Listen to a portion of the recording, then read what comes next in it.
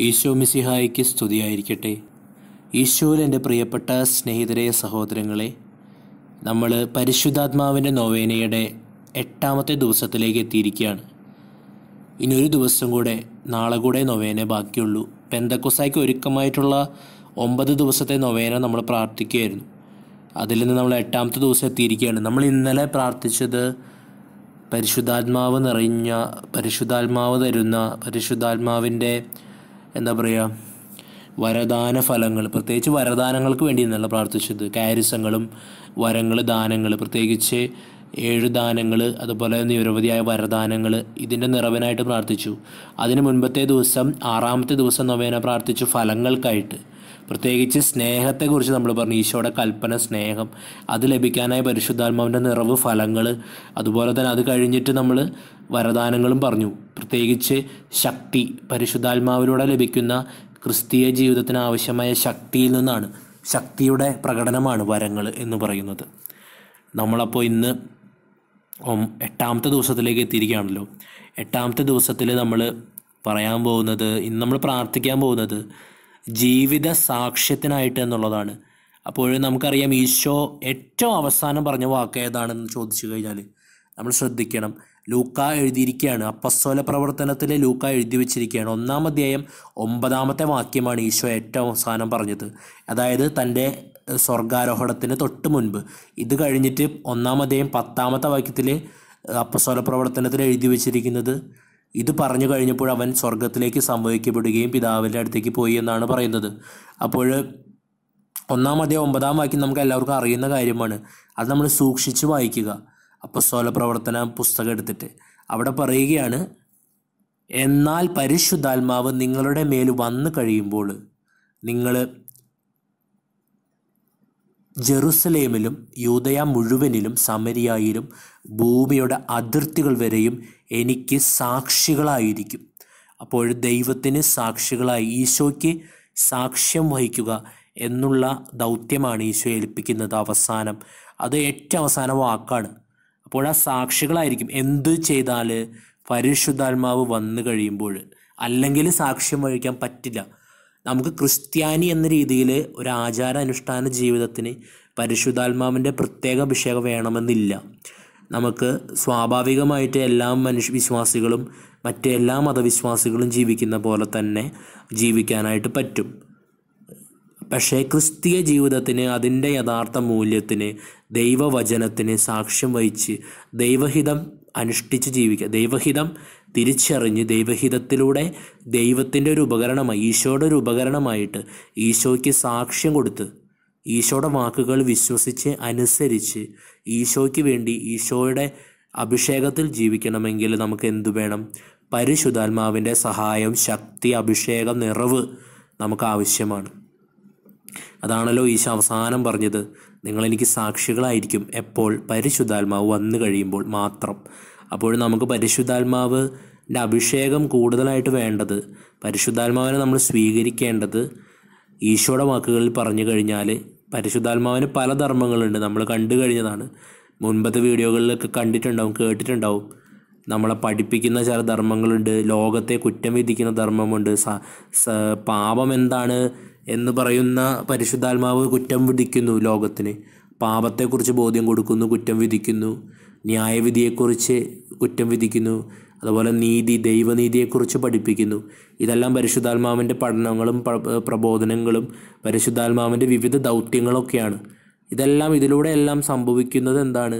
ആകത്തുക എന്ന് പറഞ്ഞാൽ ഉത്തമമായ ക്രൈസ്തവ ജീവിത സാക്ഷ്യം എന്നുള്ളതാണ്. ഈശോ എന്ന ദൈവപുത്രന് സാക്ഷ്യം വഹിക്കാനായിട്ട് ഈശോയുടെ വചനം അനുസരിച്ച് ഈശോയെ മഹത്വപ്പെടുത്താനായിട്ട് പിതാവായ ദൈവത്തെ മഹത്വപ്പെടുത്താനായിട്ട് നമുക്ക് ആവശ്യമുള്ളതാണ് പരിശുദ്ധാത്മാവിന്റെ അഭിഷേകം.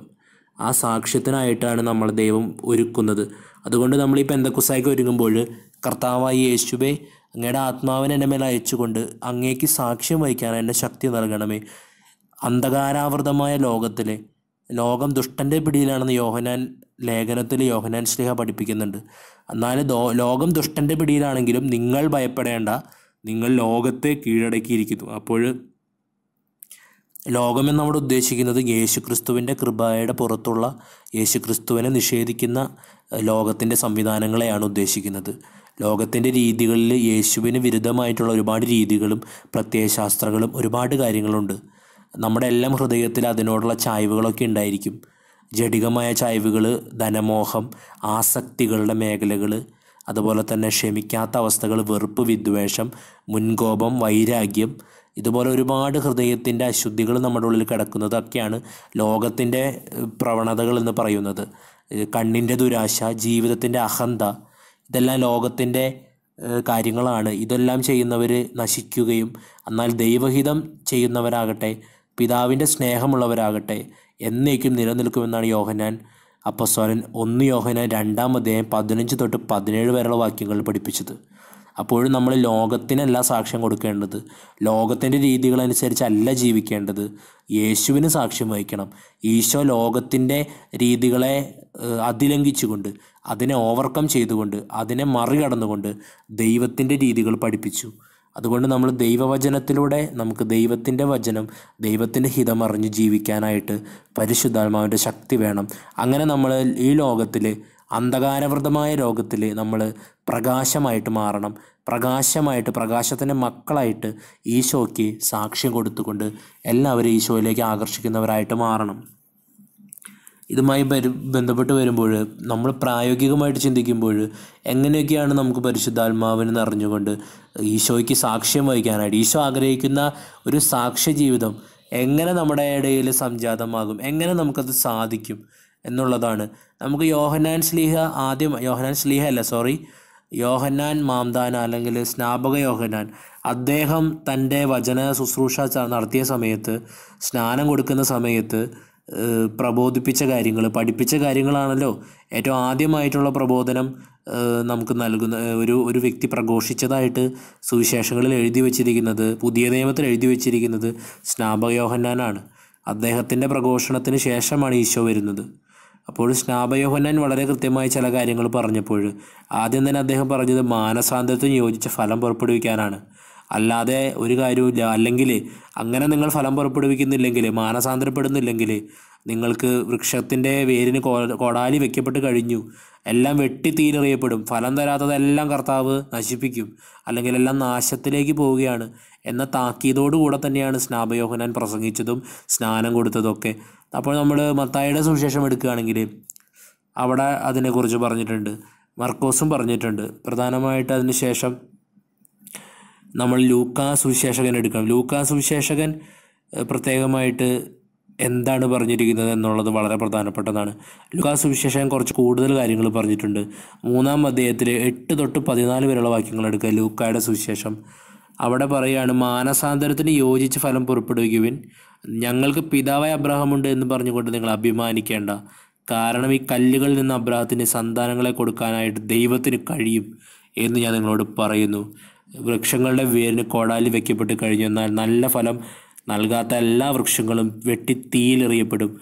ജനക്കൂട്ടം അവനോട് ചോദിച്ചു ഞങ്ങൾ എന്താണ് ചെയ്യേണ്ടത്? അപ്പോൾ സ്നാപയോഹന്നാൻ മറുപടി പറയുന്നത് കേൾക്കാം. അവൻ പറഞ്ഞു രണ്ടുടുപ്പുള്ളവനൊന്നും ഇല്ലാത്തവന് കൊടുക്കണം. ഭക്ഷണമുള്ളവനും അങ്ങനെ തന്നെ ചെയ്യട്ടെ. ചുങ്കക്കാരെ സ്നാനം സ്വീകരിക്കാൻ വരുന്ന കണ്ടപ്പോഴും അവരോട് അവൻ പറഞ്ഞു അവർ അവനോട് ചോദിച്ചു ഗുരു ഞങ്ങൾ എന്ത് ചെയ്യണം? അവൻ മറുപടി പറഞ്ഞു നിങ്ങളോട് ആജ്ഞാപിച്ചിട്ടുള്ളതിൽ കൂടുതലൊന്നും നിങ്ങൾ ഈടാക്കരുത്. പടയാളികൾ അവനോട് ചോദിച്ചു ഞങ്ങൾ എന്ത് ചെയ്യണം? അവൻ അവരോട് പറഞ്ഞു നിങ്ങൾ ആരെയും ഭീഷണിപ്പെടുത്തരുത് വ്യാജമായിട്ടുള്ള കുറ്റാരോപണം അരുത് വേതനം കൊണ്ട് നിങ്ങൾ തൃപ്തിപ്പെടണം. അപ്പോൾ സ്നാപയോഹനാൻ പറയുന്ന കാര്യങ്ങൾ ജനക്കൂട്ടത്തോട് പറയുകയാണ്. കോമൺ ആയിട്ട് പൊതുവായിട്ട് പറയുന്ന കാര്യം എന്താണ്? നിങ്ങൾ നിങ്ങളും ജ്ഞാനസ്നാനം സ്നാനം സ്വീകരിക്കാൻ വന്നു പക്ഷെ നിങ്ങൾ ഫലം പുറപ്പെടുവിക്കണം. എങ്ങനെ? നിങ്ങൾക്ക് രണ്ടുടുപ്പുണ്ടെങ്കിൽ ഒന്നില്ലാത്തവന് കൊടുക്കണം. അത് കയ്യിൽ വെച്ചുകൊണ്ടിരിക്കരുത് അധികമായിട്ട് എന്തെങ്കിലും ഉണ്ടെങ്കിൽ അത് അർഹതപ്പെട്ടവന് കൊടുക്കണം ഇല്ലാത്തവന് കൊടുക്കണം. ഭക്ഷണമുണ്ടെങ്കിലും അതെ ഭക്ഷണം പങ്കുവെക്കുക മറ്റുള്ളവർക്ക് കൊടുക്കുക ജീവിത സാക്ഷ്യമാണ്. നമുക്കറിയാം ഏറ്റവും വലിയ സാക്ഷ്യം എന്ന് പറയുന്നത് ചെറിയ കാര്യങ്ങളായിരിക്കാം. നമ്മുടെ വീട്ടിലേക്ക് കടന്നു വരുന്നൊരു ധർമ്മക്കാരൻ ഒരു ഭിക്ഷക്കാരൻ അങ്ങനെയുള്ള ഏതെങ്കിലും ആളുകൾ പല രീതിയിലെ സഹായം ചോദിച്ചു വരുന്നവർ അവർക്കൊരു പക്ഷേ നമ്മൾ പൈസ കൊടുക്കാനില്ലെങ്കിൽ പോലും നമുക്ക് ഭക്ഷണം കൊടുക്കാൻ വെള്ളം കൊടുക്കാൻ. നമ്മൾ പലപ്പോഴും വെയിലിൽ വേനൽ കാലത്ത് നമ്മുടെ വീട്ടിലേക്ക് ഈ വേനൽക്കാലത്തൊക്കെ നമ്മുടെ വീട്ടിലേക്ക് ഭിക്ഷ ചോദിച്ച് ധർമ്മം ചോദിച്ച ആളുകൾ വന്നിട്ടുണ്ടെങ്കിൽ നമ്മൾ അവരോട് എന്ത് മനോഭാവമാണ് കാണിച്ചത്? അവർക്ക് എന്താ പറയുക നമ്മൾ കൊടുക്കുന്നത് തന്നെ അധികമാണെന്ന് വിചാരിച്ചിട്ട് പലരും ചില്ലറകൾ കൊടുക്കുന്നത് അല്ലെങ്കിൽ അഞ്ച് രൂപയോ പത്ത് രൂപയോ ഇപ്പോൾ കൊടുക്കും. പക്ഷേ നമ്മുടെ മനസ്സുകൊണ്ട് അവരെ സ്നേഹിക്കുന്നുണ്ടോ? അവർ അങ്ങനെ സ്നേഹിക്കുന്നില്ലെങ്കിൽ നമ്മൾ യേശുവിന്റെ സാക്ഷികളാണോ? അല്ല എന്ന് വളരെ വ്യക്തമായി പറയാം. നമ്മുടെ മുമ്പിൽ വരുന്ന ഓരോ വ്യക്തിയും അവന്റെ അർഹത നോക്കിയിട്ടല്ല അവന്റെ സ്ഥാനം നോക്കിയിട്ടല്ല. അവനൊരു പക്ഷേ ധർമ്മ നമ്മുടെ മുമ്പിൽ ലോകത്തിന്റെ മുമ്പിൽ ഏറ്റവും വില കുറഞ്ഞവനായിരിക്കാം. ഭിക്ഷക്കാരനായിരിക്കാം ധർമ്മക്കാരനായിരിക്കാം ആരും ആയിക്കോട്ടെ. നമ്മുടെ അടുത്തേക്ക് കടന്നു വരുമ്പോൾ വേനലിലെ കാലത്ത് നമ്മുടെ വീട്ടിലേക്ക് കടന്നു വന്നപ്പോൾ നമുക്ക് അവർക്ക് വെള്ളം കൊടുക്കാനായിട്ട് പറ്റിയോ? അവരോട് നിങ്ങൾക്ക് വെള്ളം വേണമെന്ന് നമ്മൾ ചോദിച്ചോ? എത്ര പേര് ചോദിച്ച് വെള്ളം കൊടുത്തു? എത്ര പേര് അവർക്ക് ആവശ്യമുള്ള ഭക്ഷണം കൊടുക്കാനായിട്ട് ഒരു പരിശ്രമം നടത്തി? അങ്ങനെ നമ്മുടെ വീട്ടിൽ പലപ്പോഴും നമ്മുടെ കലത്തിൽ ചോറുണ്ടായിട്ടുണ്ടാവും പക്ഷെ നമ്മൾ കൊടുത്തിട്ടുണ്ടാവില്ല. അപ്പോൾ ഇതൊക്കെ വളരെ പ്രധാനപ്പെട്ട കാര്യമാണ്. നമ്മൾ പരിശുദ്ധാത്മാവിനെ സ്വീകരിക്കുക എന്ന് പറയുമ്പോൾ വലിയ കാര്യങ്ങളിലേക്ക് നോക്കുകയാണ് നമ്മൾ പക്ഷെ ആദ്യം വേണ്ട കാര്യം ഇതാണ്. സ്നേഹമാണ് ആദ്യം വേണ്ടത്. ഒരു പക്ഷേ ഒരു അർഹത ഒരു ഒരു ചെറിയൊരു വ്യക്തിയെ ഒരു ചെറിയ സഹായം കൊടുക്കുന്നത് ഒരു ഭിക്ഷക്കാരന് ഭക്ഷണം കൊടുക്കുന്നത് വെള്ളം കൊടുക്കുന്നത് ഇങ്ങനെയുള്ള കാര്യങ്ങൾ പോലും വളരെ പ്രധാനപ്പെട്ടതാണ്. അങ്ങനെയുള്ളൊരു കാര്യമാണ് പറഞ്ഞത്. നിങ്ങൾക്ക് ഭക്ഷണം കൂടുതലുണ്ടെങ്കിൽ അത് കൊടുക്കുക. അത് ആ വിശക്കുന്ന എല്ലാവർക്കും കൊടുക്കണം. അവിടെ നിങ്ങൾ നോക്കി നിൽക്കരുത്. അന്ത്യവിധിയിലും ഈശോ പറയുന്നുണ്ടല്ലോ ഭക്ഷി ഞാൻ വിശന്ന് വന്നപ്പോൾ നിങ്ങളെനിക്ക് ഭക്ഷണം നൽകി. നമ്മളൊരു ഒരു ഒരു അത് ആർക്കും ആയിക്കോട്ടെ. നമ്മുടെ വീട്ടിലേക്ക് വരുന്നൊരു വ്യക്തിക്ക് ഭക്ഷണമോ വെള്ളമോ കൊടുത്തിട്ടുണ്ടെങ്കിൽ അതിന് പ്രതിഫലം ഉണ്ടായിരിക്കുക തന്നെ ചെയ്യും. ഇതാണ് ക്രിസ്തീയ സാക്ഷ്യം. പരിശുദ്ധാത്മാവ് നമുക്ക് വളരെ ശക്തമായിട്ട് ആവശ്യമുള്ള മേഖലയാണ്. നമ്മൾ വലിയ കാര്യങ്ങൾ വലിയ വരങ്ങളും ഒക്കെ ആഗ്രഹിക്കുമ്പോൾ അല്ലെങ്കിൽ അതൊക്കെ നമുക്ക് കിട്ടുന്നതിനേക്കാളൊക്കെ പ്രധാനമായിട്ട് ആദ്യമായിട്ട് നമുക്ക് വേണ്ട കാര്യമെന്ന് പറയുന്നത് ഈ ചെറിയ കാര്യങ്ങളിലുള്ള സ്നേഹമാണ്. പങ്കുവെക്കാനുള്ള മനസ്സാണ്. പിന്നീട് സ്നാപയോഹനാൻ പറയാണ് ഓരോ കൂട്ടരുടെയും ജീവിതാന്തസ്സിനും ജോലിക്കും അനുസൃതമായ കാര്യങ്ങളാണ് പിന്നീട് പറയുന്നത്. അതും പ്രധാനപ്പെട്ടതാണ്. അപ്പോൾ ചുങ്കക്കാരടുത്തേക്ക് വന്നപ്പോൾ സ്നാവയോനം പറഞ്ഞില്ല ചുങ്കമേ പിരിക്കരുതെന്ന് പറഞ്ഞില്ല. ചുങ്കം പിരിക്കുന്നത് യഹൂദർക്ക് ഏറ്റവും ദേഷ്യമുള്ള കാര്യമാണ്. കാരണം റോമാക്കാരുടെ അധീനതയിൽ താമസിച്ചപ്പോൾ റോമാക്കാരുടെ ഏജന്റുമാരായിട്ട് വന്നിട്ടാണ് ചുങ്കം പിരിക്കുന്നത്. റോമാക്കാർക്ക് വേണ്ടി യഹൂദ രാജ്യത്തെ ഒറ്റ കൊടുക്കുന്നവരായിട്ടാണ് യഹൂദ ഫരിസേയർ അവരെ കണ്ടിരുന്നതൊക്കെ. നിയമജ്ഞരൊക്കെ അവരെ അവജ്ഞയോടുകൂടെ വീക്ഷിച്ചിരുന്നു. അവരെ ഏറ്റവും വലിയ പാപികളായി മുദ്ര കുത്തിയിരിക്കുന്നു പക്ഷേ യേശുവോ പുതിയ നിയമമോ അല്ലെങ്കിൽ സുവിശേഷങ്ങളോ അത്തരത്തിലുള്ള ഒരു മനോഭാവം കാത്തു സൂക്ഷിക്കുന്നില്ല. അവിടെ പറയുന്നു ചുങ്കക്കാർ അവരുടെ ഒരു ജോലി ചെയ്യാണ് അവരെന്തായാലും റോമാ സാമ്രാജ്യത്തിന്റെ അടിയിലാണ് ജീവിക്കുന്നത്. റോമാ സാമ്രാജ്യം ഇവരെ ഭരിക്കുകയാണ്. റോമിലെ ചക്രവർത്തിയും ഗവർണറും ഒക്കെയാണ് ഭരിക്കുന്നത്. അങ്ങനെയുള്ള സമയത്ത് റോമിന് ടാക്സ് കപ്പം കൊടുക്കണം. അതിന് വേണ്ടിയിട്ട് അവർ നിയോഗിക്കുകയും അവർക്ക് വേണ്ടി വർക്ക് ചെയ്യുന്ന ആളുകളായിരിക്കും. അങ്ങനെ വരുമ്പോൾ എന്ത് ചെയ്യണം? ചുങ്കക്കാരോട് പറയാണ് നിങ്ങൾ ഉള്ളത് കൊണ്ട് തൃപ്തിപ്പെടുക. അല്ലെങ്കിൽ നിങ്ങൾക്ക് മേടിക്കേണ്ട ചുങ്കം മാത്രമേ വേടിക്കാൻ പാടൂ. നിങ്ങൾ കൂടുതൽ പിഴിഞ്ഞെടുക്കരുത്. അന്ന് ചുങ്കക്കാർ പണമോഹമാണല്ലോ എല്ലാ തിന്മയുടെ അടിസ്ഥാന കാരണം. അതുകൊണ്ട് ചുങ്കക്കാരിൽ ബഹുഭൂരിപക്ഷം ആളുകളും എന്ത് ചെയ്തിരുന്നു? അമിതമായി പിരിച്ചെടുത്തിരുന്നു. അർഹതപ്പെടാത്തത് പിരിച്ചെടുത്തിരുന്നു. ഒന്ന് മേടിക്കാൻ പറഞ്ഞെടുത്ത് രണ്ടും മൂന്നും മേടിച്ചിരുന്നു. രണ്ട് ദിനാറ് മേടിക്കാൻ പറയുമ്പോൾ നാല് ദിനാറ് മേടിച്ചിരുന്നു. ഇങ്ങനെ മേടിച്ച് മേടിച്ച് അവർ പണക്കാരായി. രണ്ട് മാത്രം റോമാക്കാർക്ക് കൊടുക്കുകയും രണ്ട് കയ്യിൽ വയ്ക്കുകയും ചെയ്യും. അങ്ങനെ ഇവർ ഭയങ്കര പണക്കാരായി തിന്നു കുടിച്ച് കൊഴുത്ത് വളർന്നു തിന്നു കൊഴുത്ത് വളരുന്നൊരു സാഹചര്യമാണ് ഉണ്ടായത്. അപ്പോൾ ചുങ്കക്കാർ അടുത്ത് വന്നപ്പോൾ സ്നാപയോഹനാന് പറയാനുണ്ടായിരുന്നത് ഇതാണ്. നിങ്ങൾക്ക് അർഹത നിങ്ങളോട് പറഞ്ഞിട്ടുള്ളതിൽ കൂടുതൽ ഒരു ഇഞ്ച് പോലും നിങ്ങൾ മേടിക്കരുത്. എന്നിട്ട് നിങ്ങൾക്ക് ആവശ്യമുള്ളത് മേടിക്കുകയും റോമാക്കാർ അതിന് ഒരു ചെറിയ ശതമാനം ഇവർക്ക് കൊടുക്കും. ശമ്പളമായിട്ട് കൊടുക്കും. പിരിച്ചെടുക്കുന്നതിന്റെ ടാക്സ് പിരിക്കുന്നതിന്റെ ചെറിയ ശതമാനം ശമ്പളമുണ്ട്. അത് തന്നെ നല്ല ശമ്പളമാണ്. അല്ലെങ്കിൽ അത് അത് തന്നെ ജീവിക്കാൻ ആവശ്യമുള്ളതുമാണ്. അത് മതി. നിങ്ങൾ അതുകൊണ്ട് തൃപ്തിപ്പെടണം എന്നാണ് പറയുന്നത്. അത് അല്ലാതെ നിങ്ങൾ കൂടുതൽ നിങ്ങളുടെ സ്വന്തം ഇഷ്ടത്തിന് മേടിച്ചെടുത്തിട്ട് അതുകൊണ്ട് നിങ്ങൾ പണക്കാരാവാൻ നോക്കരുത്. ഇതാണ് വചനം. ഇതുപോലെ തന്നെ ഇത് നമ്മളോടും പറയുന്നുണ്ടല്ലോ. നമ്മളോട് എന്താണ് പറയുന്നത്? നിങ്ങളുടെ സാക്ഷ്യം എന്ന് പറയുന്നത് എന്താണ്? നമ്മളൊരു സർക്കാർ ജോലിക്കാരനാണെങ്കിൽ ജോലിക്കാരിയാണെങ്കിൽ നമ്മളോട് പറയുന്നത് നിങ്ങൾക്ക് കിട്ടുന്ന വേതനം നിങ്ങൾ മേടിക്കുക. സർക്കാർ തരുന്നത് നിങ്ങൾ സ്വീകരിക്കുക. നിങ്ങളുടെ ജോലിക്ക് അർഹമായ കൂലിയാണത് അത് മേടിക്കുക. അതല്ലാതെ ആളുകളുടെ അടുത്തുനിന്ന് യാതൊരു ഫേവറും പ്രതീക്ഷിക്കരുത്. കൈക്കൂലി മേടിക്കരുത് കൊടുക്കരുത് വാങ്ങരുത് ആഗ്രഹിക്കരുത്. പണം കൂടുതൽ ആഗ്രഹിക്കരുത് പ്രശസ്തി ആഗ്രഹിക്കരുത്. കൂടുതൽ അർഹതപ്പെടാത്തത് ഒരു ഇഞ്ച് പോലും ഒരു ഒരു രൂപ പോലും ദൈവം തരാത്തതും നമ്മൾ മേടിച്ചെടുത്തിട്ടുണ്ടെങ്കിൽ നമുക്ക് മാനസാന്തരത്തിന്റെ ഫലം പുറപ്പെടുവിക്കാൻ പറ്റത്തില്ല. നമ്മൾ ദൈവനീതിയുടെ അല്ലെങ്കിൽ ദൈവത്തിന്റെ വചനത്തിന്റെ വിരുദ്ധമായിട്ട് പ്രവർത്തിക്കുകയും നമ്മുടെ ആത്മാവിനെ തന്നെ പണയം വയ്ക്കുകയാണ് ചെയ്യുന്നത്.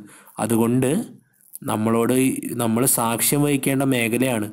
ഒരുപക്ഷെ നമ്മുടെ ജോലി നമ്മുടെ ഓഫീസിലുള്ള എല്ലാവരും കുറച്ചൊക്കെ കണ്ണടയ്ക്കുന്നുണ്ടാവും. കുറേയൊക്കെ കാര്യങ്ങൾ കിട്ടാൻ വേണ്ടിയിട്ട് ചില ഫേവർ കിട്ടാൻ വേണ്ടിയിട്ട് കണ്ണടയ്ക്കുന്നുണ്ടാവും കൈക്കൂലി മേടിക്കുന്നുണ്ടാവും. അത് ചെറിയ തുകയല്ലേ എന്ന് പറഞ്ഞിട്ടൊക്കെ ആയിരിക്കും മേടിക്കുന്നത്.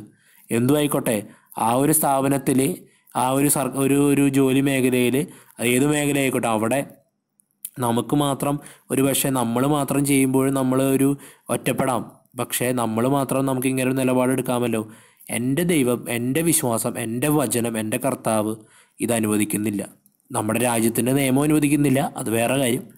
എനിക്ക് എന്നാൽ അതും എനിക്ക് പറയാം. നിയമവിരുദ്ധമായിട്ടുള്ള ഈ ഒരു പൈസ എനിക്ക് വേണ്ട. ദൈവ അതുപോലെ തന്നെ അതിനുപരിയായിട്ട് എന്റെ ഈശോയ്ക്ക് ഇഷ്ടമില്ലാത്ത ഒരു രൂപ പോലും എന്റെ അക്കൗണ്ടിലേക്ക് വേണ്ട. എന്റെ കയ്യിലേക്ക് വേണ്ട. അങ്ങനെ ഒരു കാശ് കൊണ്ട് എന്റെ മക്കൾ പഠിക്കേണ്ട. അങ്ങനെ ഒരു കാശ് കൊണ്ട് എനിക്ക് നല്ല വീട് വേണ്ട. അങ്ങനെ ഒരു കാശ് കൊണ്ട് എനിക്ക് നല്ല ഡ്രസ്സ് വേണ്ട. അങ്ങനെ ഒരു കാശ് കൊണ്ട് എനിക്ക് നല്ല സുഭിക്ഷമായ ഭക്ഷണവും വേണ്ട. അങ്ങനെ തീരുമാനമെടുക്കാൻ പറ്റുമോ എന്നുള്ളതാണ്. അപ്പോൾ ചെറിയ കാര്യങ്ങളിൽ പോലും വിശ്വസ്തരായിക്കൊണ്ട് ദൈവവചനത്തിന് വേണ്ടി ഈശോയ്ക്ക് സാക്ഷ്യം വഹിക്കുക. അങ്ങനെ നമ്മുടെ കൂടെയുള്ളവരുടെ മുമ്പിൽ ചിലപ്പോൾ ആദ്യം നമ്മൾ കളിയാക്കപ്പെടാം നമ്മൾ അവഗണിക്കപ്പെടാം. പക്ഷേ അവരുടെ ഹൃദയത്തിൽ അവർ നമ്മൾ റെസ്പെക്റ്റ് ചെയ്യും. അറിഞ്ഞോ അറിയാതെ ഇന്നോ നാളെയോ അവർക്ക് മാനസാന്തരത്തിന് ഇതൊരു കാരണമാകും. നമ്മളുടെ ചെറിയ സാക്ഷ്യങ്ങൾ മറ്റുള്ളവരുടെ മാനസാന്തരത്തിന് ഒരു വലിയ കാരണമായി മാറും.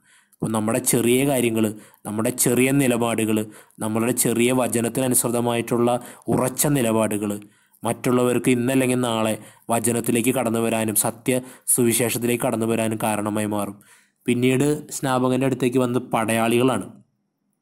പടയാളികൾ എന്ന് പറഞ്ഞു കഴിഞ്ഞാൽ റോമ പടയ റോമക്കാർക്ക് വേണ്ടിയിട്ടുള്ള പടയാളികളായിരിക്കും.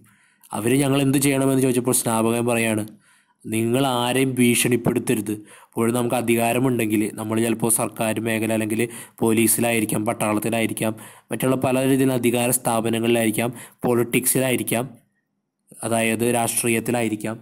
ഇത്തരത്തിലുള്ള വിവിധങ്ങളായിട്ടുള്ള മേഖലകളിൽ നമ്മൾ പോകുന്നുണ്ടെങ്കിൽ നമ്മൾ എന്ത് ചെയ്യണം അവിടെ? അവിടെ നമ്മൾ ആരെയും ഭീഷണിപ്പെടുത്താൻ പോകരുത്. അധികാരം ദുർവിനിയോഗം ചെയ്യരുത്. വ്യാജമായിട്ട് കുറ്റാരോപണം വരരുത്. മറ്റുള്ളവർക്കെതിരെ വ്യാജം പറയരുത് കുറ്റം ആരോപിച്ച് അവരെ നശിപ്പിക്കാൻ ശ്രമിക്കരുത്. വേതനം കൊണ്ട് തൃപ്തിപ്പെടണം. അടുത്തത് സ്നാപയോനം പറയാണ് നിങ്ങൾക്ക് ലഭിക്കുന്ന ശമ്പളം കൊണ്ട് തൃപ്തിപ്പെടണം. അതുതന്നെയാണ് പുതിയ നിയമത്തിലെ മുഴുവൻ ഒരു സന്ദേശം എന്ന് പറയുന്നത്. വിശുദ്ധ പൗലോസ് അപ്പസ്വാനം വളരെ കൃത്യമായിട്ട് പറയാണ് ഉള്ളതുകൊണ്ട് തൃപ്തിപ്പെടുന്നവനാണ് ദൈവഭക്തി വലിയ നേട്ടം. ഉള്ളതുകൊണ്ട് തൃപ്തിപ്പെടുന്നവന്. അതേസമയം കൂടുതൽ ആഗ്രഹിക്കുന്നവർ വ്യാമോഹത്തിലും ദുരാഗ്രഹത്തിലും പെട്ട് ദൈവവചനത്തിൽ നിന്നും യേശുവിന്റെ സുവിശേഷത്തിൽ നിന്നും അകന്നു പോവുകയാണ് ചെയ്യുന്നത്. അപ്പോൾ ഉള്ളതുകൊണ്ട് തൃപ്തിപ്പെടുക എന്നതാണ് സുവിശേഷത്തിന്റെ സന്ദേശം. നമുക്ക് ലഭിക്കുന്ന കാര്യങ്ങൾ ദൈവം നമുക്ക് നൽകുന്നതായിട്ടുള്ള കാര്യങ്ങളിൽ തൃപ്തിയോടുകൂടെ ജീവിക്കാൻ പഠിക്കുക. അതിന് വിരുദ്ധമായി നമുക്ക് പോകാനായിട്ടുള്ള ഒരുപാട് പ്രലോഭനങ്ങളും ഒരുപാട് മേഖലകളും നമ്മുടെ മുമ്പിൽ ലോകവും പിശാചും ജഡവും എല്ലാം കൊണ്ടിടുമ്പോൾ അവയോട് വേണ്ട എന്ന് പറയുവാൻ വേണ്ടിയിട്ട് നമുക്കൊരു അഭിഷേകം വേണം. ആ അഭിഷേകം നമുക്ക് തരുന്നത് പരിശുദ്ധാത്മാവാണ്. അപ്പോൾ ഉള്ളതുകൊണ്ട് തൃപ്തിപ്പെടാനും ദൈവഹിതത്തിന് വിരുദ്ധമായിട്ടുള്ളതെല്ലാം വേണ്ട എന്ന് വെക്കാനും അത് ലോകം മുഴുവൻ അത് ഇഷ്ടപ്പെട്ടാലും എനിക്കത് വേണ്ട എന്റെ കർത്താവ് എനിക്കും എന്റെ കുടുംബത്തിനും അത് വേണ്ട എന്നൊരു തീരുമാനം എടുക്കാനായിട്ട് നമുക്ക് വരുന്ന എല്ലാ കാര്യങ്ങളും ചെറുതും വലുതുമായിട്ടുള്ള എല്ലാം നമുക്ക് ആവശ്യമായിരിക്കുന്ന എല്ലാ സാക്ഷ്യ മേഖലകളും പരിശുദ്ധാത്മാവിന് വിട്ടുകൊടുക്കുക. അങ്ങനെ നമുക്ക് ചെറുതും വലുതുമായ എല്ലാ കാര്യങ്ങളിലും പരിശുദ്ധാത്മാവിലൂടെ ഈശോയ്ക്ക് സാക്ഷ്യം വഹിക്കാൻ പറ്റും. ഈശോ അതാണല്ലോ പറഞ്ഞത്. മത്തായി സുവിശേഷത്തിലെ ഏഴാം അധ്യായത്തിൽ ഈശോ വ്യക്തമായി പറയുകയാണ് കർത്താവേ കർത്താവേ എന്ന് എന്നോട് വിളിച്ചപേക്ഷിച്ചു കൊണ്ടിരിക്കുന്നവരല്ല എന്റെ സ്വർഗപിതാവിന്റെ ഇഷ്ടം. നിറവേറ്റുന്നവരാണ് സ്വർഗരാജ്യത്തിൽ പ്രവേശിക്കുക. അപ്പോൾ ദൈവഹിതം നിറവേറ്റാതെ തെറ്റായ കാര്യങ്ങൾ ചെയ്യുക ചെയ്യുമ്പോൾ അതിനെ നമ്മൾ എങ്ങനെയൊക്കെ ന്യായീകരിച്ചാലും നമ്മൾ യേശുവിന്റെ സുവിശേഷത്തിന്റെ അഭിഷേകത്തിൽ നിന്നും അകന്നു പോവുകയാണ്. അപ്പോൾ കർത്താവെ കർത്താവെ എന്ന് വിളിച്ചപേക്ഷിച്ചുകൊണ്ട് നമ്മുടെ കാര്യങ്ങൾ നേടിയെടുക്കുന്നത് ഒരിക്കലും സ്വർഗത്തിൽ പോകാനുള്ള ഒരു കാരണമല്ല. അങ്ങനെ വിളിച്ചപേക്ഷിച്ചത് കൊണ്ട് ആരും സ്വർഗത്തിൽ പോകണമെന്നുമില്ല.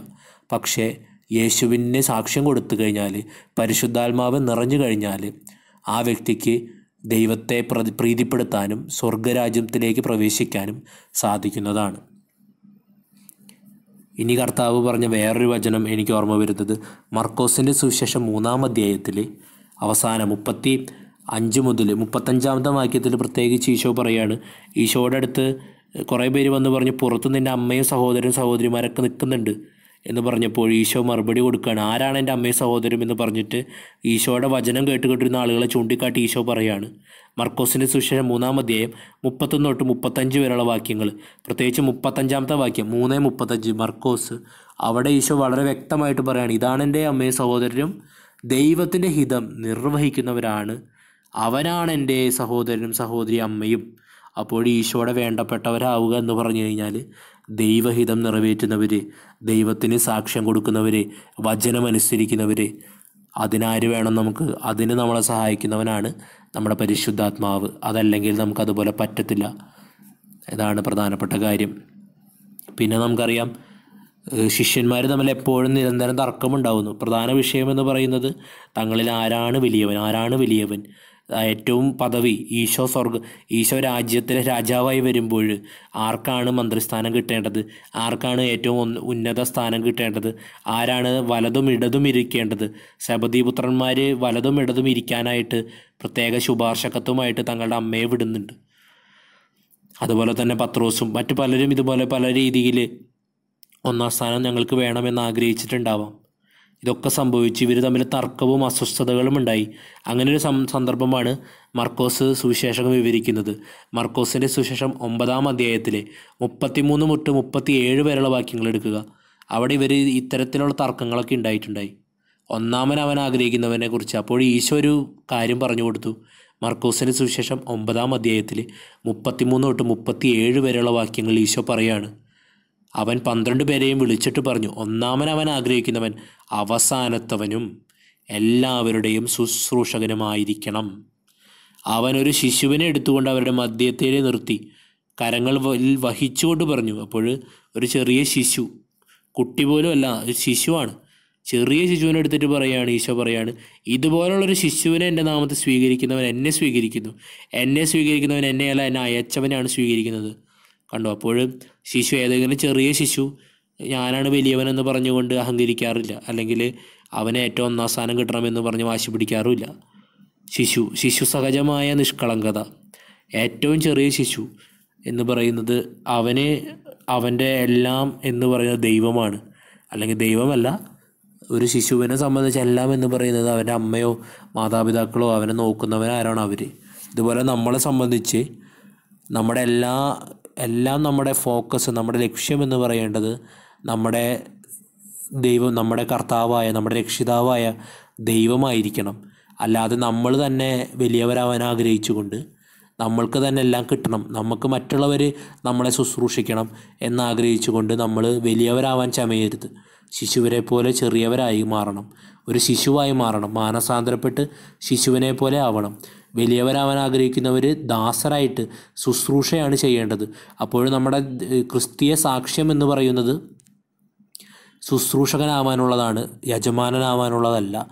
അപ്പോൾ നമ്മൾ ഞാനും നിങ്ങളും ശുശ്രൂഷകരായി മാറണം. മറ്റുള്ളവർക്ക് സേവ ചെയ്യാനായിട്ട് ശുശ്രൂഷ ചെയ്യാനായിട്ട് മറ്റുള്ളവർക്ക് ഈശോയെ പങ്കുവെച്ച് കൊടുക്കാനായിട്ട് പ്രതിഫല ഇച്ഛ കൂടാതെ തന്നെ സാധിക്കുമെങ്കിൽ കർത്താവിന് സാക്ഷ്യം വഹിക്കാനായിട്ട് എളിമപ്പെടാനായിട്ട് എളി എളിയ കാര്യങ്ങൾ ചെയ്യാനായിട്ട് വലിയ വലിയ കാര്യങ്ങളല്ല ചെറിയ കാര്യങ്ങൾ ചെയ്യാനായിട്ട്. ഇപ്പോൾ ഒരു ധ്യാന കേന്ദ്രത്തിൽ പോയിട്ട് അവിടുത്തെ എന്താ പറയുക ഏറ്റവും ചെറിയ കാര്യങ്ങൾ ചെയ്യുമ്പോൾ അതിൽ സന്തോഷിക്കാൻ പറ്റണമെങ്കിൽ അത് വലിയ കാര്യമാണ്. അതായത് അത് വലിയ സാക്ഷ്യമാണ്.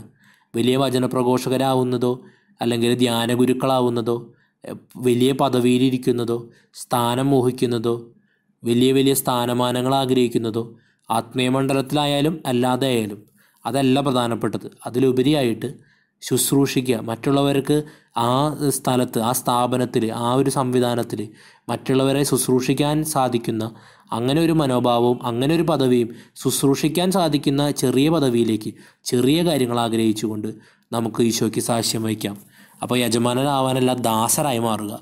അതാണ് ഇതിലെ പ്രധാനപ്പെട്ട ആഗ്രഹം. അങ്ങനെയാണെങ്കിൽ നമുക്കൊരു യജമാനൻ ഉണ്ടാവുള്ളൂ. അത് ദൈവം മാത്രമാണ്. നമ്മൾ ആരുടെ യജമാനനാവരുത്. നമ്മൾ ദാസർ മാത്രമാണ്. എന്നുള്ളതാണ് അവിടെ പ്രധാനപ്പെട്ട കാര്യം. പിന്നെ ഈശോ പറയുന്നുണ്ട് മത്തായുടെ സുശേഷം അഞ്ചാം അധ്യായത്തിൽ ഈശോ വ്യക്തമായിട്ട് പറയുകയാണ് നിങ്ങൾ ലോകത്തിന്റെ പ്രകാശമാണ്. അഞ്ചാം അധ്യായം പതിമൂന്ന് തൊട്ട് പതിനാറ് വരെയുള്ള വാക്യം. നിങ്ങൾ ലോകത്തിന്റെ പ്രകാശമാണ്. അതുകൊണ്ട് പറയാണ് മലമുകളിൽ പണിതുയർത്തിയ ഒരു പട്ടണത്തെ മറച്ചു വെക്കാൻ പറ്റില്ല. വിളക്ക് കൊളുത്തിയിട്ട് ആരും പറയുടെ കീഴിൽ ഒളിച്ചു വെക്കാറുമില്ല. പീഠത്തിന്മേലാണ് വയ്ക്കുക അപ്പോഴത് ഭവനത്തിലുള്ള എല്ലാവർക്കും പ്രകാശം നൽകുന്നു. അപ്രകാരം മനുഷ്യർ നിങ്ങളുടെ സൽപ്രവർത്തികൾ കണ്ടിട്ട് സ്വർഗീയ പിതാവിനെ സ്വർഗസ്നായ നിങ്ങളുടെ പിതാവിനെ മഹത്വപ്പെടുത്തേണ്ടതിന് നിങ്ങളുടെ വെളിച്ചം അവരുടെ മുമ്പിൽ പ്രകാശിക്കട്ടെ. അപ്പോൾ നമ്മളുടെ വെളിച്ചം മറ്റുള്ളവരുടെ മുമ്പിൽ പ്രകാശിക്കണം. സത്പ്രവൃത്തികൾ കണ്ടിട്ട് മറ്റുള്ളവർ ദൈവത്തെ മഹത്വപ്പെടുത്തണം. ദൈവപിതാവിനെ അറിയണം ഈശോയെ അറിയണം. ക്രിസ്തീയ സാക്ഷ്യത്തിന്റെ പ്രധാനപ്പെട്ട കാര്യമാണ് സൽപ്രവൃത്തികൾ സ്വാർത്ഥത കൂടാതെ തിരിച്ച് പ്രതിഫലം കിട്ടാതെ ഉള്ള നമ്മളുടെ പ്രവർത്തികൾ കാരുണ്യ പ്രവർത്തികളായിക്കോട്ടെ ചെറിയ കാര്യമായിക്കോട്ടെ ഞാൻ നേരത്തെ പറഞ്ഞ പോലെ വീട്ടിൽ വരുന്ന ഒരാൾക്ക് നമുക്ക് തിരിച്ചു തരാനില്ലാത്ത ഒരാൾക്ക് നമ്മുടെ ബന്ധുക്കളോ മറ്റുള്ളവരോ അല്ല ഞാൻ ഉദ്ദേശിക്കുന്നത് അവർ നമുക്ക് തിരിച്ചു തരും. നമ്മുടെ ബന്ധുവിന് നമ്മുടെ വീട്ടിൽ വരുമ്പോൾ നമ്മൾ ഫ്രൈഡ് റൈസ് ഉണ്ടാക്കി കൊടുത്തു കഴിഞ്ഞാൽ ആ ബന്ധുവിന്റെ വീട്ടിൽ നമ്മൾ ചെല്ലുമ്പോൾ ബന്ധു ചിലപ്പോൾ ഫ്രൈഡ് റൈസും ചിലപ്പോൾ അതിന്റെ കൂടെ ചിക്കൻ കറിയും തിരിച്ചു തരും. കൂടുതൽ തിരിച്ചു കിട്ടും. ഇതുപോലെ നമ്മൾ നമ്മൾക്ക് നമ്മുടെ ഈശോ പറയുന്നുണ്ട് വിവാഹ വിരുന്ന് നിങ്ങൾ നടത്തുമ്പോൾ നിങ്ങളുടെ വേണ്ടപ്പെട്ടവരെ വിളിച്ച് അവരെ ആദ്യം കയറ്റിയിരുത്തരുത് അല്ലെങ്കിൽ വേണ്ടപ്പെട്ടവരെ വിളിക്കരുതെന്ന് പോലും ഈശോ പറയുന്നുണ്ട്. അവിടെ അർത്ഥമാക്കുന്നത് എന്താണ്? അവരെ നിങ്ങൾ വിളിക്കുമ്പോൾ നിങ്ങൾ അവരും തിരിച്ചു വിളിക്കും നിങ്ങൾ നിങ്ങൾ അവർ നിങ്ങൾക്ക് പ്രതിഫലം തരുന്നു. അങ്ങനെ നിങ്ങൾക്ക് ഈ ലോകത്ത് വെച്ച് തന്നെ പ്രതിഫലം കിട്ടുകയാണ്. പക്ഷേ ഈശോ പറയാണ് നിങ്ങളൊരു വിരുന്ന് നടത്തുമ്പോൾ വിവാഹം നടത്തുമ്പോൾ നിങ്ങൾക്ക് തിരിച്ചു തരാൻ പറ്റാത്ത ദരിദ്രരായിട്ടുള്ളവർ മറ്റ് പാർശ്വവൽക്കരിക്കപ്പെട്ടിരുന്നവരെ വിളിക്കാനാണ് ഈശോ പറയുന്നത്. നമ്മളിതൊന്നും ഫോളോ ചെയ്യാറില്ല. കാരണം നമ്മൾ ദൈവരാജ്യത്തിൽ നിന്ന് ഒരുപാട് അകലെയാണ് എന്നുള്ളതാണ് കാരണം. പക്ഷേ ദൈവരാജ്യത്തിലേക്ക് കടക്കാനായിട്ട് ഈശോ പറയുന്ന ഒരു മനോഭാവമുണ്ട്.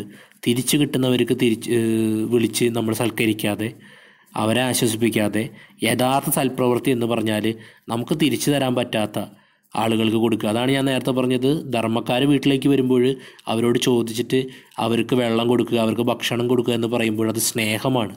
സൽപ്രവൃത്തി സ്നേഹത്തിന്റെ പ്രവൃത്തിയാണ്. അവർക്ക് തിരിച്ചു തരാനായിട്ട് പറ്റുന്നില്ല. അവർ നമ്മൾ അവരുടെ വീട്ടിലേക്ക് വിളിച്ചിട്ട് അവർ നമുക്ക് ചിക്കൻ ഫ്രൈഡ് റൈസ് തിരിച്ചു തരാൻ പോകുന്നില്ല. അതുകൊണ്ട് നമ്മുടെ ബന്ധുക്കളെയും നമ്മൾ വലിയ വലിയ ആളുകളെയൊക്കെ നമ്മൾ വലിയ സൽക്കരിക്കുമ്പോൾ അത് അതിന്റെ പത്തിരട്ടി നമ്മൾ സൽക്കരിക്കേണ്ടത് തിരിച്ചു തരാൻ പറ്റാത്തവരെയാണ് എന്നുള്ളതാണ് സത്യം. അതാണ് ക്രിസ്തീയ സുവിശേഷം പറയുന്നത് പഠിപ്പിക്കുന്നതും. അത് അല്പം ബുദ്ധിമുട്ടാണ് വളരെ ബുദ്ധിമുട്ടാണ്. പക്ഷേ പരിശുദ്ധാത്മാവ് യഥാർത്ഥ അഭിഷേകം നമുക്ക് തന്നാൽ നമുക്ക് ഈ ഒരു മാറ്റം വരും. നമ്മൾ പിന്നെ പ്രീതിപ്പെടുത്താൻ നോക്കുന്നത് ദൈവത്തെ മാത്രമായിരിക്കും.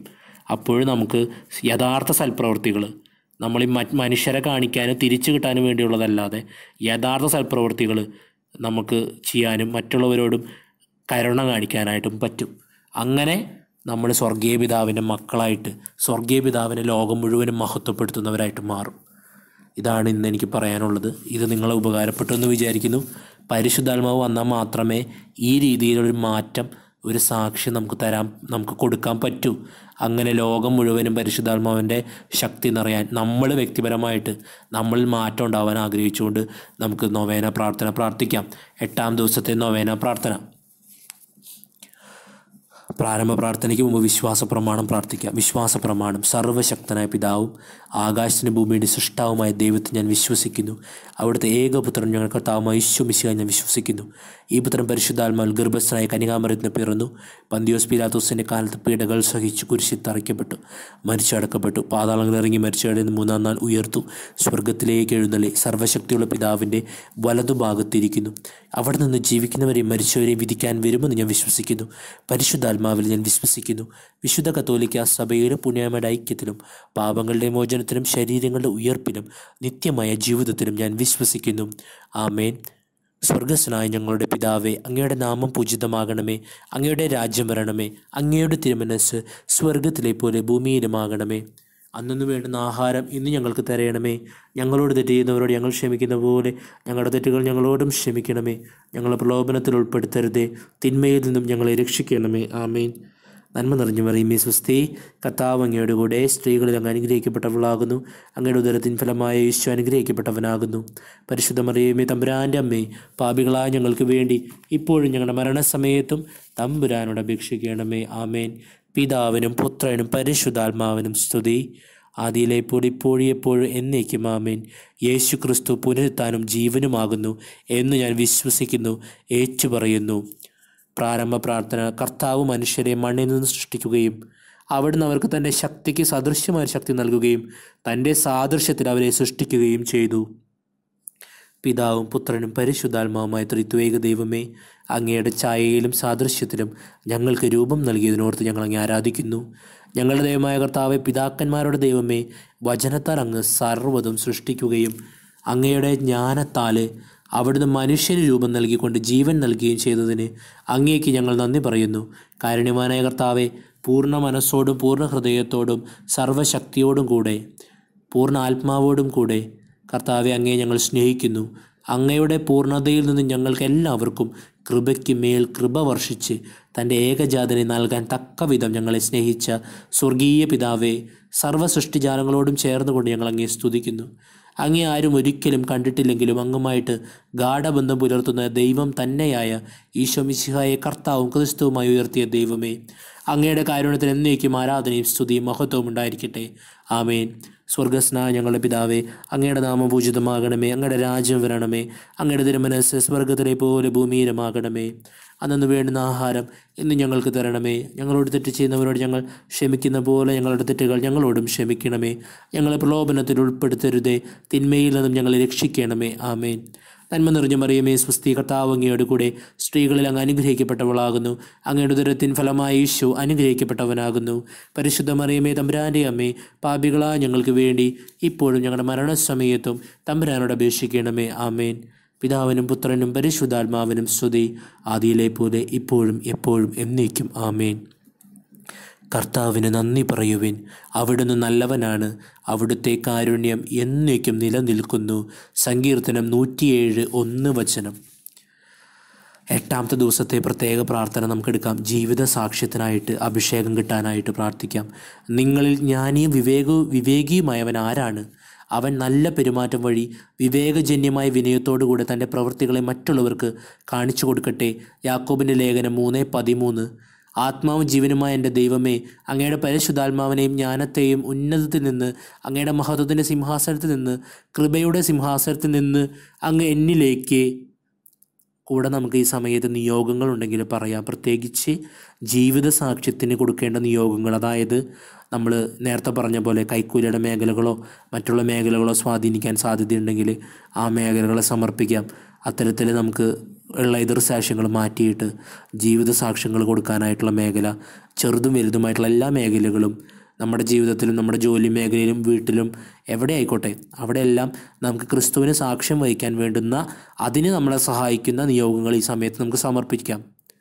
കർത്താവെ അങ്ങേ ഈ നിയോഗങ്ങളിലേക്ക് അഭിഷേകത്തിലേക്ക് അങ്ങയുടെ സിംഹാസനത്തിൽ നിന്ന് കൃപ അയച്ചു തരണമേ. കരുണയുണ്ടാകണമേ എന്ന് ഞങ്ങൾ ഏറ്റവും താഴ്മയോടുകൂടെ യേശു ക്രിസ്തുവിന്റെ നാമത്തിൽ പ്രാർത്ഥിക്കുന്നു. സർവശക്തനായ ദൈവമേ ഉന്നതത്തിൽ നിന്നുള്ള ജ്ഞാനം ഒന്നാമത് ശുദ്ധവും പിന്നെ സമാധാനപൂർവവും പിന്നീട് വിനീതവും വിധേയത്വമുള്ളതും കരുണ നിറഞ്ഞതും സൽഫലങ്ങൾ നൽകുന്നതുമാണ്. എന്ന് വ്യക്തമാക്കിയ ഞങ്ങളുടെ കർത്താവെ ഉന്നതമായ ജ്ഞാനവും ഉന്നതമായ ശക്തിയും കൃപയും നൽകിക്കൊണ്ട് സ്വർഗീയ പിതാവിന്റെ മക്കളായിട്ട് ജീവിക്കാൻ ഞങ്ങൾ അനുഗ്രഹിക്കണമേ. അങ്ങനെ ഞങ്ങൾ ഈശോയ്ക്ക് സാക്ഷ്യം കൊടുത്ത് പിതാവായ ദൈവത്തെ മഹത്വപ്പെടുത്തുവാൻ ഇടയാക്കണമേ. ആമേൻ. സ്വർഗസ്നായ ഞങ്ങളുടെ പിതാവേ അങ്ങയുടെ നാമം പൂജിതമാകണമേ. അങ്ങയുടെ രാജ്യം വരണമേ. അങ്ങയുടെ തിരുമനസ് സ്വർഗത്തിലെ പോലെ ഭൂമിയിലുമാകണമേ അന്നു വേണ്ടുന്ന ആഹാരം ഇന്ന് ഞങ്ങൾക്ക് തരണമേ. ഞങ്ങളോട് തെറ്റ് ചെയ്യുന്നവരോട് ഞങ്ങൾ ക്ഷമിക്കുന്ന പോലെ ഞങ്ങളുടെ തെറ്റുകൾ ഞങ്ങളോടും ക്ഷമിക്കണമേ. ഞങ്ങളെ പ്രലോഭനത്തിൽ ഉൾപ്പെടുത്തരുതേ. തിന്മയിൽ ഞങ്ങൾ രക്ഷിക്കണമേ. ആമേൻ. നന്മ നിറഞ്ഞ മറിയമേ സ്വസ്തി. കർത്താവ് അങ്ങയുടെ കൂടെ സ്ത്രീകളിൽ അങ്ങ് അനുഗ്രഹിക്കപ്പെട്ടവളാകുന്നു. അങ്ങയുടെ ഉദരത്തിൻ ഫലമായി ഈശോ അനുഗ്രഹിക്കപ്പെട്ടവനാകുന്നു. പരിശുദ്ധ മറിയമേ തമ്പുരാന്റെ അമ്മേ പാപികളായ ഞങ്ങൾക്ക് വേണ്ടി ഇപ്പോഴും ഞങ്ങളുടെ മരണസമയത്തും തമ്പുരാനോട് അപേക്ഷിക്കണമേ ആമേൻ. പിതാവിനും പുത്രനും പരിശുദ്ധാത്മാവിനും സ്തുതി. ആദിയിലെ പോലെ ഇപ്പോഴും എപ്പോഴും എന്നേക്കും ആമേൻ. ഇനി നമ്മൾ നാല് പ്രാവശ്യം ഒരു പ്രാർത്ഥന പ്രാർത്ഥിച്ചേറ്റ് പറയാം കർത്താവെ ജ്ഞാനത്തിന്റെയും വിവേകത്തിന്റെയും ആത്മാവിനെ നൽകി യേശോയ്ക്ക് സാക്ഷ്യം വഹിക്കാൻ എന്നെ അനുഗ്രഹിക്കണമേ. കർത്താവെ ജ്ഞാനത്തിന്റെയും വിവേകത്തിന്റെയും ആത്മാവിനെ നൽകി ഈശോയ്ക്ക് സാക്ഷ്യം വഹിക്കാൻ എന്നെ അനുഗ്രഹിക്കണമേ. കർത്താവെ ജ്ഞാനത്തിന്റെയും വിവേകത്തിന്റെയും ആത്മാവിനെ നൽകി ഈശോയ്ക്ക് സാക്ഷ്യം കൊടുക്കാൻ എന്നെ അനുഗ്രഹിക്കണമേ. നാലാമത്തെ പ്രാവശ്യം. കർത്താവെ ജ്ഞാനത്തിന്റെയും വിവേകത്തിന്റെയും ആത്മാവിനെ നൽകി അങ്ങേക്ക് സാക്ഷ്യം വഹിക്കാൻ എന്നെ അനുഗ്രഹിക്കണമേ. ആമേൻ. അപ്പോൾ ഓ എട്ടാമത്തെ ദിവസത്തെ നൊവേന പ്രാർത്ഥന നമ്മൾ അവസാനിപ്പിച്ചു. ഈ വചന വിചിന്തനവും നൊവേനയും നമുക്ക് ഉപകാരപ്രദമായിട്ടുണ്ടെങ്കിൽ കമന്റിൽ ഇടുക. കഴിഞ്ഞ ദിവസമൊന്നും ഒരാളും യൂട്യൂബിൽ പ്രത്യേകിച്ച് ഇടുക കമന്റൊന്നും കണ്ടിരുന്നില്ല. ഒരു പക്ഷേ ആരും അധികം അങ്ങനെ വീഡിയോ കാണുന്നില്ല. വളരെ ചുരുക്കം പേര് അഞ്ചോ ആറോ പത്തോ ആൾക്കാരെ കാണുന്നുള്ളൂ. ഏതായാലും നമുക്ക് ഉപകാരപ്രദമാവട്ടെ എന്ന് ആശംസിക്കുന്നു. നിങ്ങൾക്ക് സാധിക്കുകയാണെങ്കിൽ കമന്റ് ഇടുക അതുപോലെ തന്നെ ഷെയർ ചെയ്യുക അങ്ങനെയുള്ള കാര്യങ്ങളൊക്കെ ചെയ്യുക. കർത്താവ് അപ്പോൾ ആ വചനം കൂടുതൽ പേരിലേക്ക് എത്തും. നമുക്ക് യഥാർത്ഥ സുവിശേഷം ലോകം മുഴുവൻ എത്താനായിട്ട് പ്രാർത്ഥിക്കാം. എല്ലാവർക്കും ദൈവത്തിന്റെ വചനവും കരുണയും ലഭിക്കാൻ പ്രാർത്ഥിക്കാം. ഈശോ മിശിഹായിക്ക് സ്തുതിയായിരിക്കട്ടെ. ആമേൻ. ഈശോയ്ക്ക് സാക്ഷ്യം വഹിക്കാൻ എനിക്കും നിങ്ങൾക്കും നമുക്കെല്ലാവർക്കും സാധിക്കട്ടെ. അതിന് പരിശുദ്ധ അമ്മ വിശുദ്ധ ഔസ്യ പിതാവ് സകല വിശുദ്ധരുമാരാകുമാരും മധ്യസ്ഥം വഹിക്കട്ടെ. നമുക്കതിനു വേണ്ടി പ്രാർത്ഥിക്കാം. പരിശുദ്ധാത്മാവ് നിറയാൻ ആഗ്രഹിക്കുമ്പോൾ ഈശോയുടെ വചനത്തിന് അണ്ണുവിട മാറാതെ സാക്ഷ്യം വഹിക്കാനും ദൈവസ്നേഹത്തിൽ ജീവിക്കാനും കൃപയ്ക്കായിട്ട് പ്രാർത്ഥിക്കാം. ആമേൻ. ഈശോ അനുഗ്രഹിക്കട്ടെ. ആമേൻ.